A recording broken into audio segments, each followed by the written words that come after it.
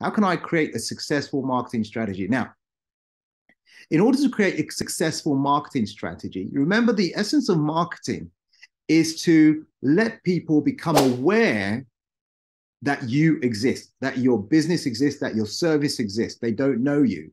And so that strategy is about knowing who these people are who have a problem, a challenge, some kind of inconvenience, and letting them know that there is a solution, and that solution is you or your business or your service, and communicating it in an effective way how you can support them, how you can help them.